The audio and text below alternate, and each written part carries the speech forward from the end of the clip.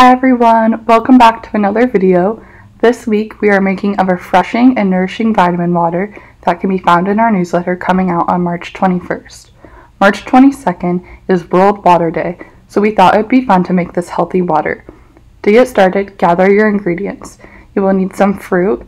In this video we will be using strawberries, watermelon, pineapple, and an orange.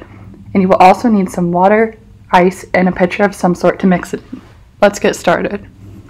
First, before you do anything, make sure you thoroughly wash and clean your hands.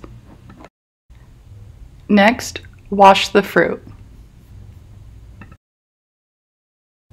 Now we are going to start by slicing and chopping our fruit into smaller pieces for the vitamin water.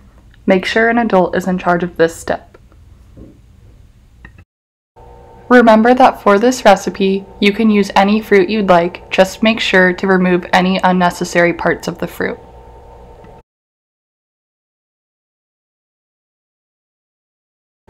Next, we are going to fill up a pitcher 3 fourths of the way with water.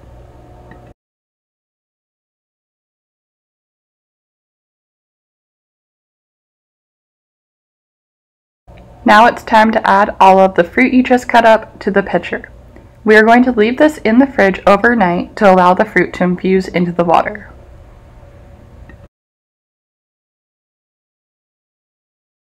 Be sure to give it a quick stir before putting the pitcher in the fridge.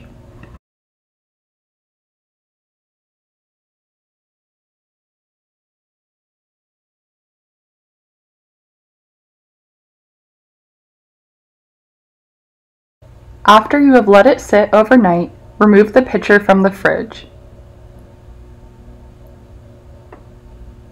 Give the water a quick stir one more time. Now you can grab some glasses and fill them halfway with ice. Then add your infused water to the glasses.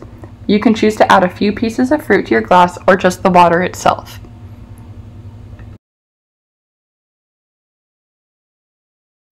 This drink is perfect to share with friends on a hot summer's day, or even now as the weather is beginning to warm up. If you are wanting to make this last for a couple of days, you can scoop out some of the fruit, leaving a few of your favorites in there to keep the flavor. Thanks for watching!